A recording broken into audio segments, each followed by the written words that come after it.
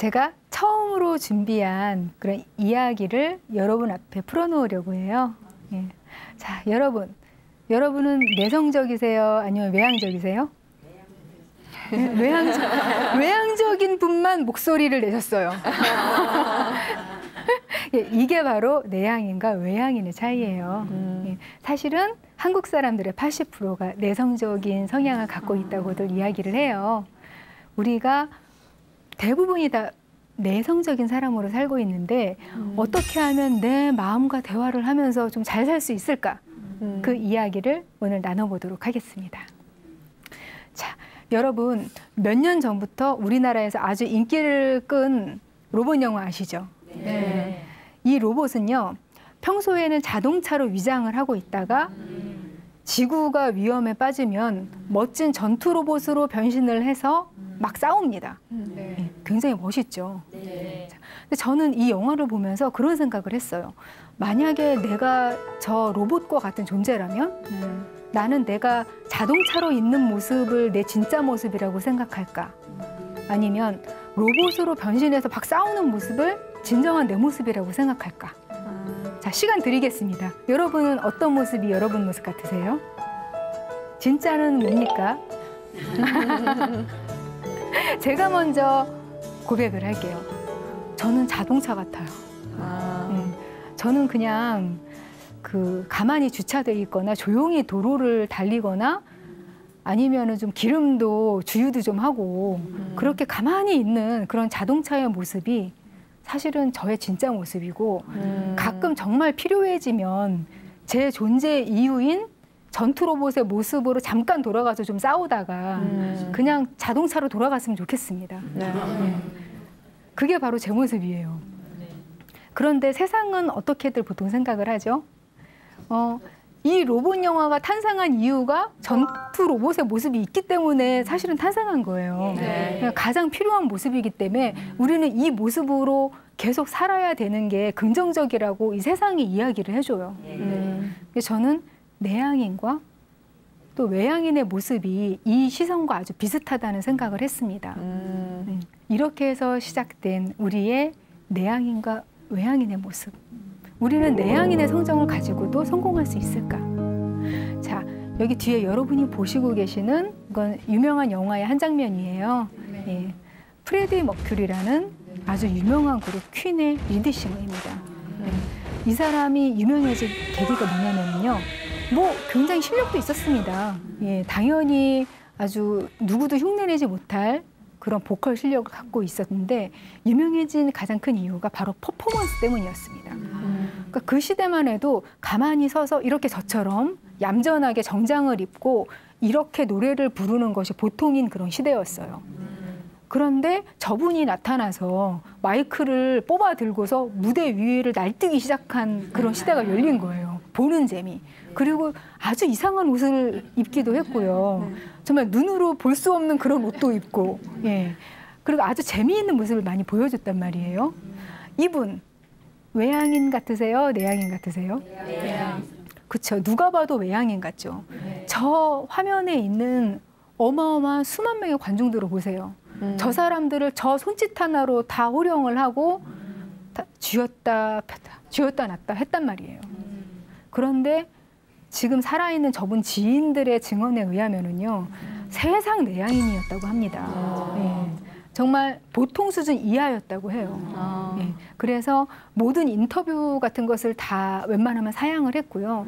언론 인터뷰 굉장히 힘들어했다고 해요. 예. 그리고 무대에서 내려오기만 하면 혼자 있는 시간을 즐겼고 음. 그냥 아무도 모르는 곳에서 처박혀서 연락이 안 되기도 했고 음. 굉장히 내성적인 사람이었고 힘들어했어요. 음.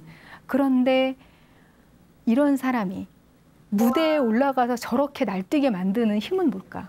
내향이니. 자, 그렇다면 내성적인 사람은 성공하기가 힘들다.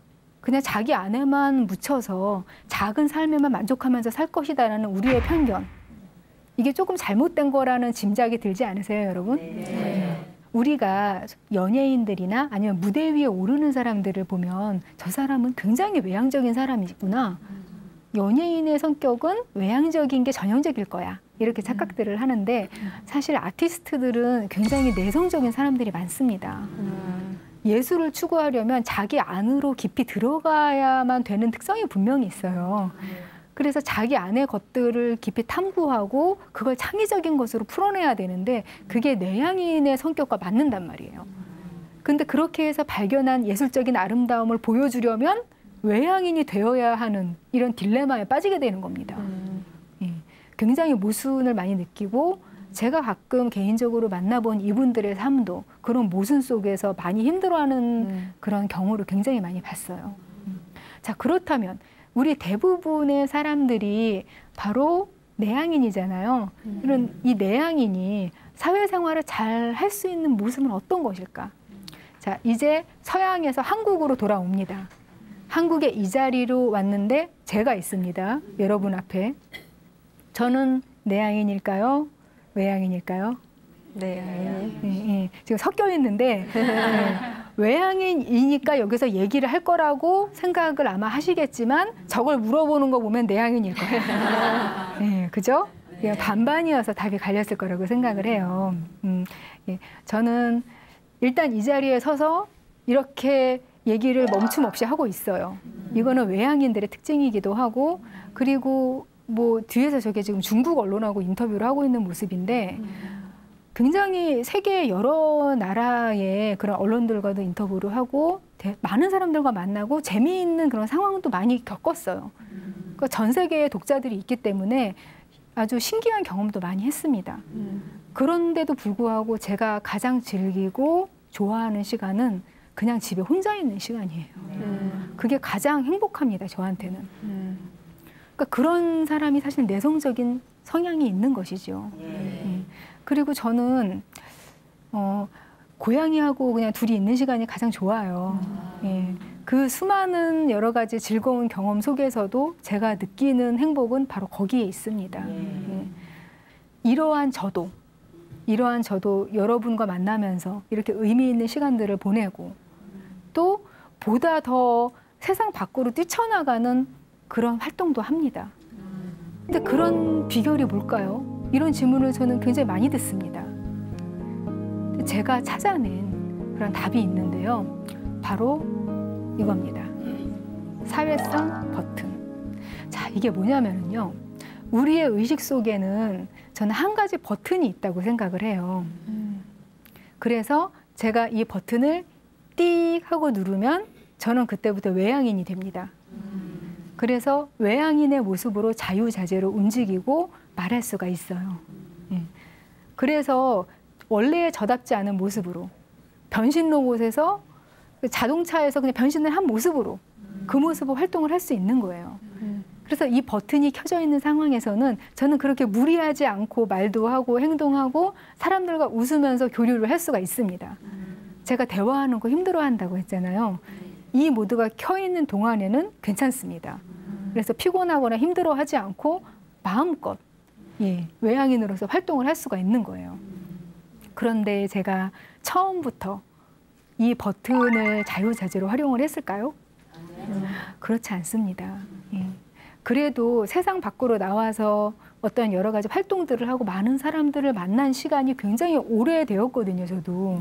근데 그 기간을 통해서 조금씩 익숙해지고 쌓아 나간 거라고 생각을 합니다. 처음에는요, 일단 이 버튼이 내 안에 존재하는지조차 모릅니다. 켤 생각조차 못하는 그런 시기가 있어요. 그래서 정말 저 사람은 왜 저렇게 사회성이 없지? 이런 이야기를 들으면서 사회생활을 시작을 했어요. 근데 어느 날 보니까 저한테도 그 버튼이 있더라고요. 음. 처음에는 그 버튼이 어찌나 뻑뻑한지 아무리 눌러도 제대로 되질 않는 거예요. 이게 길이 안 들어요 버튼이. 그래서 여러 번 눌러도 제대로 작동도 하지 않고 그리고 기껏 버튼을 눌러놨는데 아 이게 그 시스템이 굉장히 이렇게 효율적이지 못하고 소위 말해서 후진 거예요. 네. 아, 왜 이렇게 내 사회성 버튼은 시원치 않지? 좀 더 최첨단으로 바꿨으면 좋겠어. 이런 생각이 들 때가 많았었죠. 그런데 그래도 내 안에 의식 속에 사회성 버튼이 있다라고 생각을 하고 아, 지금은 버튼을 눌러야 해라고 의식을 하면서 노력을 하고 그리고 자꾸만 익숙해지니까 자 여러분 익숙해지는데 장사 없더라고요. 네. 그래서 여러 번 버튼을 끄고 켜고 그리고 아, 이 상황이 버튼을 켜야 할 순간이다라고 의식을 하면 어느 순간에 또 자동으로 켜지더라고요. 나중에는 오토매틱이에요. 음, 켜야 해 이렇게 의식을 안 해도. 근데 그렇게 되니까 훨씬 내향인으로서의 사는 삶도 자유로워지더라고요. 제게 자유를 줬어요. 이 버튼에 대한 것들이. 나중에는 꼭 수동으로 하지 않아도 리모컨도 생기더라고요. 음. 예. 이것을 우리 마음속에서 의식을 하기만 한다면 내향인들이 세상을 지배할 수 있지 않을까라는 생각을 해봅니다. 우리는 그러면 내향인이 뭘 뜻하는 건지 좀 궁금하지 않으세요? 그냥 말 없으면 내향인일까요? 아니요, 그렇지가 않아요. 우리는 보통 성격 좀 고쳐 이 얘기 많이 들어보기도 해요. 내향인들은 저도 잘하면서 그런 얘기 많이 들었습니다. 그런데 제가 이 내성적인 성격에 대해서 공부를 해보니까요. 이게 고칠 수 없는 거라는 걸 알게 됐습니다. 음. 자, 내향인들은요, 분명히 타고나는 거고요. 일단 첫 번째 특징으로는 신체적으로 예민합니다. 우리는 그게 성격의 문제라고만 생각하죠. 우리 마음 안에서만 이 내향인과 외향인의 차이가 벌어진다고 생각을 하는데요. 사실은 모든 신경계, 그리고 뇌의 구조, 그리고 호르몬의 그런 것들이 다 복합적으로 일어나서 이 몸의 특징 때문에 성격도 드러나는 거거든요. 음. 음, 우리는 굉장히 예민합니다. 어, 보통 내향인들이 사람들을 만나는 걸 힘들어해요. 음. 그게 왜 그러냐면 사람을 싫어하는 게 아닙니다.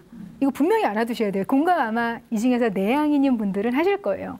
나는 사람이 싫지가 않아요. 음. 근데 만나면 피곤해요. 음.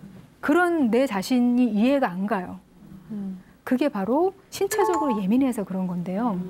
바깥에서부터 내 안으로 들어오는 자극을 내가 너무 예민하게 느끼는 거예요. 근데 사실 이 세상의 모든 자극 요인 중에서 제일 첫 번째로 큰 자극이 사람이에요. 사람만큼 큰 자극은 없어요.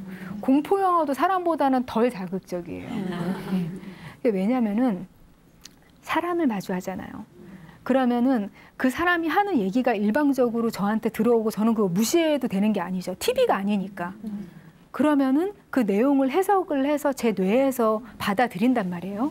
그리고 어떻게 하면 이 사람에게 다시 리액션, 반응을 돌려줄까를 생각을 해야 되죠.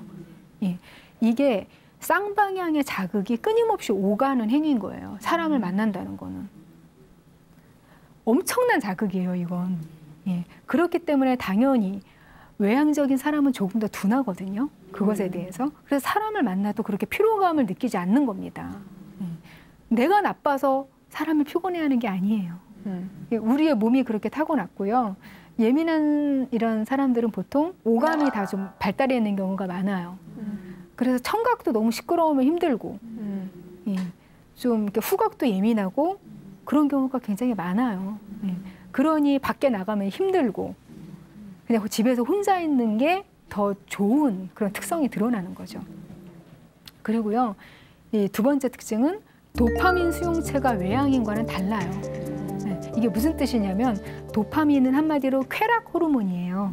네, 우리가 보통 쾌락이라고 느끼는 것들이 있는데 어, 가장 대표적인 것으로는 마약. 마약하면 쾌락이 느껴진다고 하는데 도파민이 나와서 그래요. 이걸 음. 자극해서 나와서 그렇게 느껴지는 거고요. 그리고 어, 남성과 여성이 신체적으로 좋은 관계를 맺을 때 그때도 도파민이 나옵니다. 그리고 놀이공원에서 롤러코스터를 탈 때 그때도 도파민이 나와요. 그 어떤 그 강렬한 자극, 강렬한 즐거움 이런 것을 느낄 때 바로 그 도파민이 나오는 거예요. 그리고 연애할 때 그 두근두근 하는 그 설레는 감정 있죠. 그 얼마 안 가는 그 설레임 네, 다 경험해 보셨을 거예요. 예, 얼마 안 가죠 그게. 저도 있어요. 예. 그것도 도파민인 거예요. 뭐든지 새로운 것을 통해서만 도파- 도파민이 나오게 돼 있어요. 그러니까 오래된 것을 통해서는 별로 나오지 않습니다. 예. 근데 그 수용체하고 외- 그, 그 수용체가 외향인들과 달라서 별로 그 도파민이 나오는 상태를 즐거워하지 않아요. 내향인들은. 대신에 아세틸콜린이라는 또 쾌감 호르몬이 있는데 그건 종류가 달라요. 그래서 편안하게 집에서 휴식을 하고 있거나 아니면 좋은 음악을 듣고 있거나 그럴 때 나오는 그 평화의 쾌락 호르몬이 있습니다.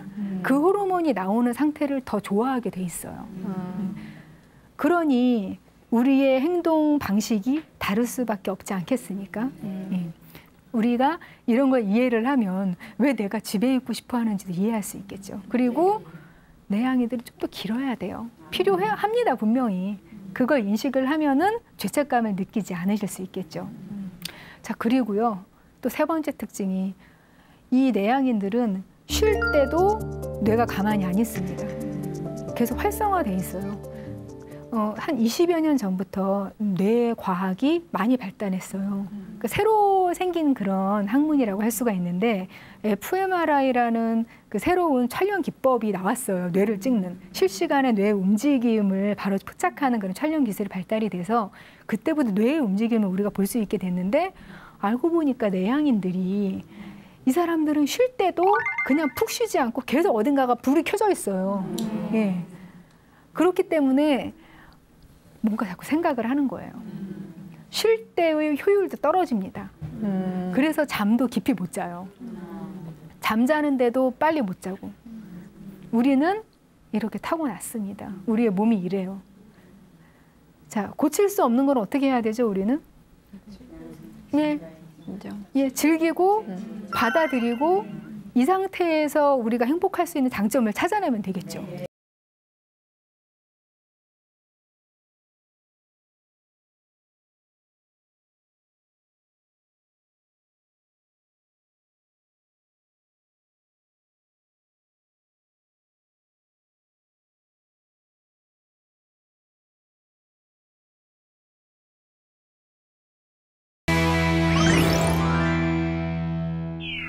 저는 이게 너무 슬펐어요.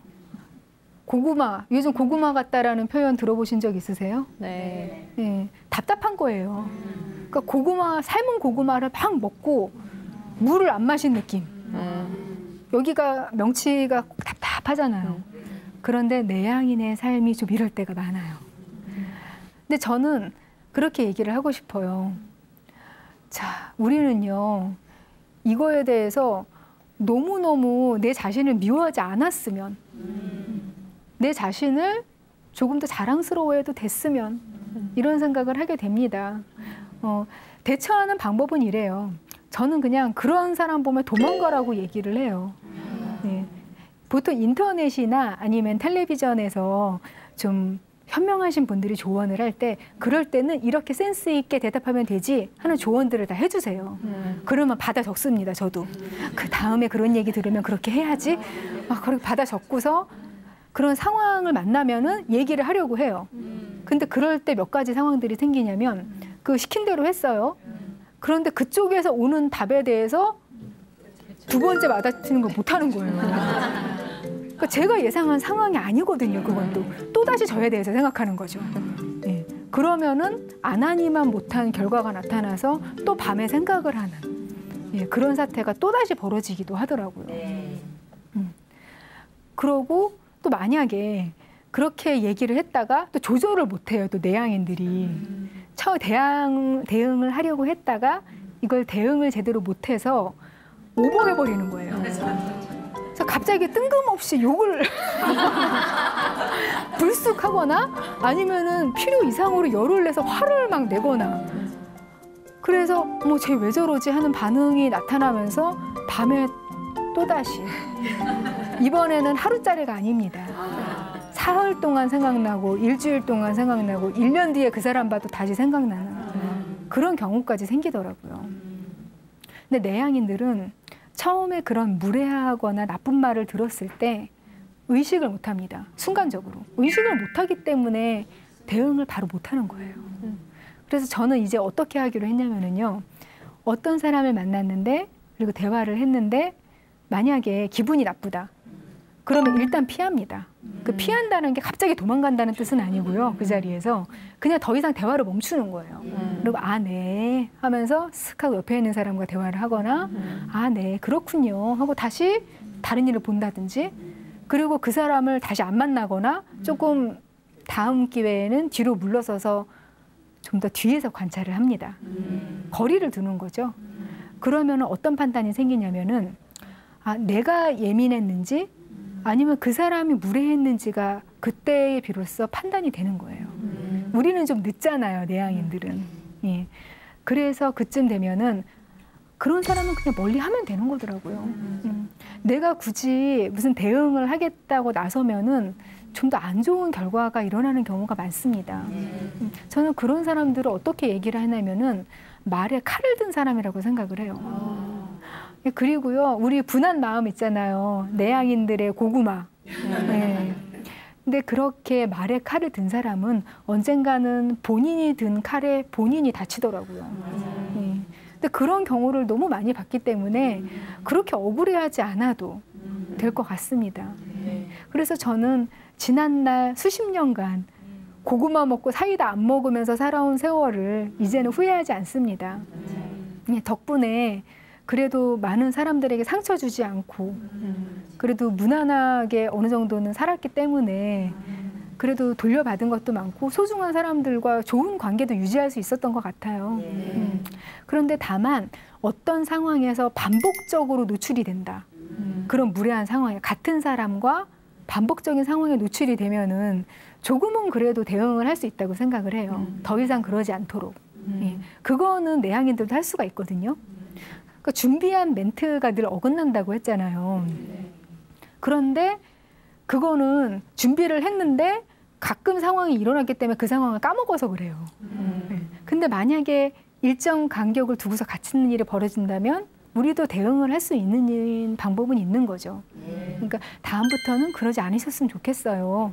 라고 한마디를 한다든지 아니면은 그 무시를 한다든지. 그러니까 너무 무례한 말을 들었을 때 어, 한 3초만 침묵을 지켜보세요. 음. 3, 3초만 침묵을 지키고 그 사람을 이렇게 보세요. 상황 끝납니다. 음. 의외로 효과가 좋아요. 예. 그럼 그 사람도 뜨끔해서 뭔가 잘못됐구나. 예. 그런 상황이 생기더라고요. 음. 그러니까 이렇게 대비를 하시면 여러분 인생의 고구마가 더 이상 고구마가 아닐 거라고 생각을 합니다. 우리가 내향인들이 어려서부터 좀 닮아라고 했던 그런 외향인들은 행복할까요? 음, 아니라고 이렇게 다들 말씀을 하세요. 어떻게 이렇게 잘하시는지. 어, 내향성이 유전 영향 많이 받거든요. 예, 그렇게 태어난다고 했잖아요. 다 내향인의 집에서 자랐습니다, 저도. 그리고 내향적인 사람과 결혼을 했고, 어, 우리 둘을 합친 것보다 더 내향적인 딸을 낳았어요. 예. 그래서 너무 답답했던 거예요. 답답해. 우리 애는 어쩜 이렇게 데리고 나가도 사람들 앞에서 부끄러움을 타고 숨으려고만 할까.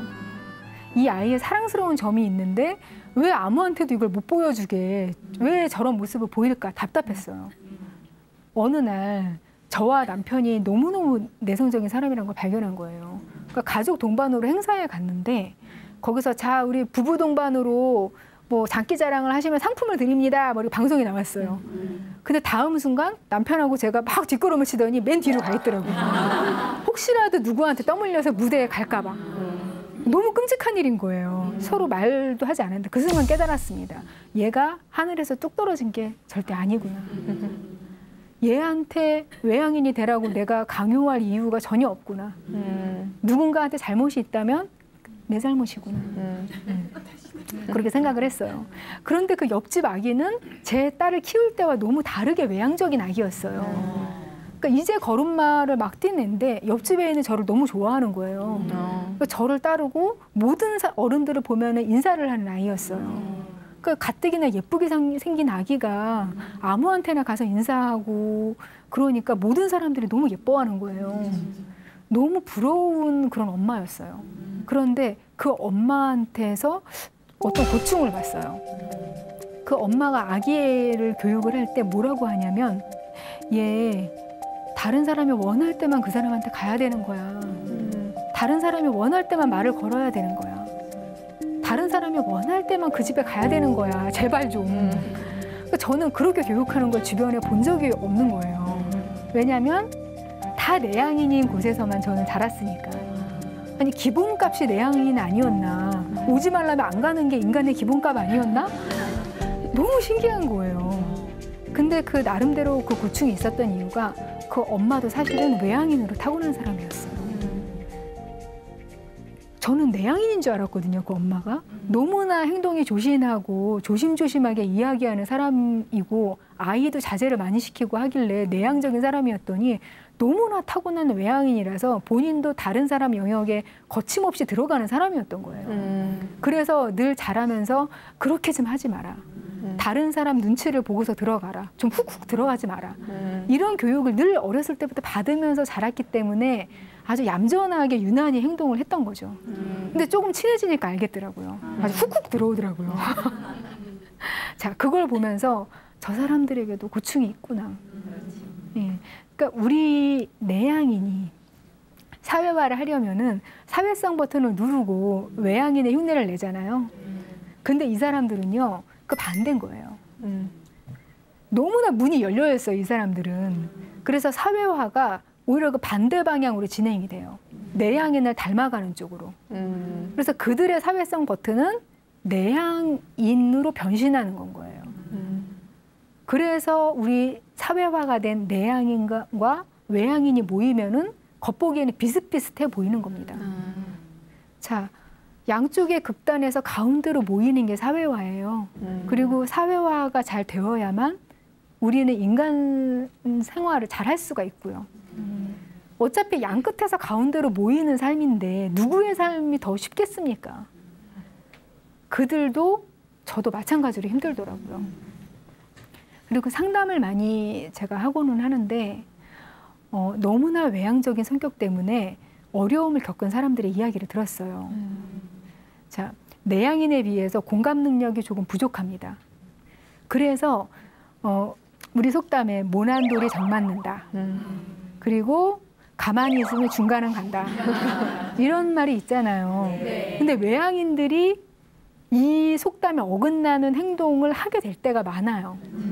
성장기에. 그래서 학창 시절에 그 친구들 사이에서 조금 왕따 비슷한 상황을 겪기도 하고 이 친구들도 상처가 많아요. 그 음. 외향적인 성격 때문에 우리는 조용하고 내성적인 사람들만 상처가 있다고 생각을 하잖아요. 그래서 청소년 시절에 그런 상처를 겪고 본래는 외향인으로 태어났는데 내향인을 흉내내면서 조용하게 사는 사람들도 저는 많이 봤습니다. 자, 그렇다면 이 외향인의 삶들도 우리의 그런 부러움과는 다른 것 아닐까요? 음. 그래서 저는 우리 외향인과 내향인들이 서로를 좀 더 이해해주고 그 가운데 서로 이해하는 그런 접점에서 만날 수 있으면 좋겠다는 생각을 하게 될 때가 많습니다. 음. 그렇다면 이렇게 조용히 사고가 안으로 흐르고 행동하는데 조금 시간이 걸리고 실천하는데 오래 걸리고 이런 내향인들이 사회에서 자기 야망을 이루는 방법은 뭐가 있을까? 자, 먼저 첫 번째로요. 이거는 저의 좌우명이기도 합니다. 갈까 말까 할 때는 간다. 그냥 좌우명이에요. 음. 중요한 자리에 초대를 받았다고 가정을 해볼게요. 어, 제 본성으로 따지면은요, 안 가고 싶어요. 웬만하면 가고 싶지 않습니다, 사실은. 그런데 제가 만약에 갈까 말까 고민을 하고 있다면 그 자리에 갔을 때 장점이 있는 자리라는 뜻이에요. 음. 그런데 그 가지 않고자 하는 제 욕망이 붙잡고 있는 상태를 뜻하는 거거든요. 근데 만약에 제 마음의 소리에만 귀를 기울이면 저는 집에서만 살아야 되는 거예요. 음. 처음부터 절대로 가기 싫어. 이런 데는 안 갑니다. 음. 그런데 갈까 말까 갈까 말까 예, 이런 고민이 들 때는 그냥 더 이상 생각을 하면서 저 자신을 괴롭히는 게 아니라 그냥 가자 하고 원칙을 정했어요. 근데 그러다 보니까 제가 제 방구석에서 머물면서 행복을 느낄 때는 만날 수 없는 아주 다양하고 큰 세상, 좋은 사람들, 그리고 여러 창의적인 생각들, 재미있는 상황들, 이런 것들을 만날 수가 있었던 거예요. 그 저는 지금도 여전히 혼자서 있는 시간이 가장 좋지만 그 혼자 있는 시간에 추억으로 곱씹을 수 있는 모든 추억들은 결국 가서 생긴 일들이더라고요. 음. 그 가장 좋은 시간조차도 결국에는 제가 제 본성을 박차고 갔을 때 생긴 거라는 거. 음. 그걸 잊지 않으려고 노력을 합니다. 그래서 되도록이면은 움직이고 만나고 또 할까 말까 할 때는 되도록이면 하고 그냥 아예 원칙으로 정하니까 이 내향인이 안에서 충돌을 벌이는 일에 대해서 고민을 하지 않아도 되는 거예요. 음. 그거 굉장히 에너지가 많이 드는 일이거든요. 그래서 원칙을 하나 정해놓으면 우리 내향인들은 편해집니다. 음. 그리고 두 번째는요, 자, 운동하고 관리로 체력을 올리는 거예요. 어, 몸이 만약에 기운이 없고 내 맘대로 움직이지 않으면은요, 내향인의 단점이 더 잘 드러나요. 음. 움직이기 싫어하고 행동하기 싫어하고 집에만 있고 싶어하고 사람 만나기 싫어하고 이런 극단적인 면들이 체력이 안 좋으면 드러난단 말이에요. 음. 그렇기 때문에 체력을 잘 관리를 하고 내 안의 에너지가 너무 이게 바닥을 치고 소진되지 않도록 관리하는 일이 굉장히 중요하다고 생각을 합니다. 그래서 항상 주유를 좀 해두십시오. 예. 주유를 한 이 정도까지 해놔서 달릴 때 너무 쉽게 에너지를 써서 쭉 하고 내려가지 않도록. 예, 그래야만 우리가 내향인이 누릴 수 있는 그런 에너지를 조금 더 발휘해서 결과를 내놓을 수 있을 거라고 생각을 합니다. 자, 그리고요, 어, 아주 작은 것이라도 행동으로 옮겨보는 거예요. 예. 어, 내향인은요, 행동하기 싫어요. 제가 제일 싫어하는 게 일 버리는 거예요. 예, 정말 일 버리기 싫고요. 뭐 누가 하자, 행사하자, 정말 싫어요. 예. 여기 작가님이 연락하셔서 강의 의뢰하셨을 때 싫었어요. 저는 그냥 가만히 집에서 혼자 글 쓰는 게 제일 좋은 사람이거든요, 원래는. 하지만 아까 제가 뭐라고 그랬죠? 네. 맞아요. 갈까 말까 할 때는 간다. 할까 말까 할 때는 한다. 그래서 여러분과 함께 이런 이야기들을 전하면서 또 저에게 영향을 받는 여러분과 이렇게 눈을 마주치고 에너지를 교환하고 여러분을 통해서도 저도 배웁니다. 이런 시간을 통해서 저도 성장을 하고 혼자서 저 안으로 가라앉는 시간에 그 추억에 빠지면서 더 즐거울 수 있는 거죠. 음. 자, 365일 집에만 있으면 별로 즐겁지가 않더라고요. 예. 그래서 웬만하면 그냥 움직이자라는 원칙을 가지려고 하는 것이죠. 그래서 아주 작은 일이라도 생기면은 조금이라도 제가 일어나기를 바라는 거예요. 어, 그리고 한 번은 작업을 하는데 택배가 왔어요. 나갔습니다. 근데 뭔가 현관에서 낯선 기분이 느껴지는 거예요. 이 낯선 기분은 뭐지? 하고 분석을 해봤더니 제가 그 현관에 놓여 있는 신발을 신은 게 언제인지 기억이 안 나는 거예요. 어, 내가 마지막으로 저 신을 신는 게 언제였지? 아실만 하죠. 예, 얼마나 처박혀 있는 사람인지. 예. 그런데 그런 정도로 움직이기 싫어하고, 예, 밖으로 나가는 거, 일어나는 게 이벤트인 그런 사람이기 때문에 되도록이면 저는 만듭니다. 음. 그래서 운동을 무조건 하고요. 예, 이거는 그냥 보통 그 트레이너나 운동 전문적으로 하시는 분들은 매일 운동하는 거 별로 권하지 않으세요. 몸에 무리 간다고. 근데 저는 그냥 매일 합니다. 하루도 빼지 않고. 예, 그냥 매일매일 해야지 하거든요. 만약에 3일에 한 번씩 한다 이런 식으로 정해두면 결국은 안 하게 되더라고요. 그래서 습관을 들이기 위해서 그냥 어, 자동 반응, 예, 행동을 하기 위해서 일부러 그렇게 합니다. 근데 저는 그것도 제 정신 건강에 굉장히 도움이 되고 내향인한테는 엄청나게 필요한 일이라는 그런 생각을 많이 했습니다. 그래서 머릿속에 어떤 일이 떠오른다. 행동을 하는 겁니다. 이런 게 습관이 되면은 훨씬 그 고통스러운 내향인의 삶에서 벗어날 수 있고 그래도 결과물을 내는 삶을 살 수가 있더라고요. 그래도 끊임없는 싸움입니다, 정말. 자, 그리고요. 어, 사회성 버튼을 자, 누르는 연습을 이제부터 시작을 하십시오. 예, 그게 바로 우리가 야망을 이루는 그런 가장 큰 방법 중에 하나라고 생각을 합니다. 네. 우리는요, 너무 버튼이 뻑뻑해요. 네. 자, 기름칠을 합니다. 누르고요. 그리고 또 한 가지 중요한 거는 적당할 때 끌 수 있어야 합니다. 음. 자, 제가 아주 사랑하는 친구를 만났어요. 이 친구와 즐거운 시간을 보내고 있어요. 그런데 이 친구랑 있는 게 힘들어요. 음. 지금 점점 제 에너지가 방전되고 있는 게 느껴지는 거예요. 그럼 그걸 이 친구한테 알고 싶게 할까요? 알리고 싶지 않아요. 그냥 서로 즐거운 시간을 나눴으면 좋겠고, 그냥 제가 즐거운 마음과 힘든 마음이 동시에 있는데, 즐거운 마음만 이 친구가 알 수 있었으면 좋겠어요. 음. 그래서 비밀로 하게 되잖아요. 음. 그러니까 적당한 때에 이것을 끊고 나올 수 있어야만 이제 그 관계에 대해서 더 이상 힘들지 않은 거를 느낄 수 있게 되는데 저는 아직도 그건 좀 힘들더라고요. 너무 노는 걸 또 좋아하는 그러니까 내향인들 특징이 또 그거예요. 만나고 싶지는 않은데 만나면 또 헤어지기도 싫어요. 음, 그런 게 또 있어요. 좀 단호해야 되는데 그래서 다음 날 잘 놀고서 알아 눕습니다. 음, 그런 일도 생겨요 정말.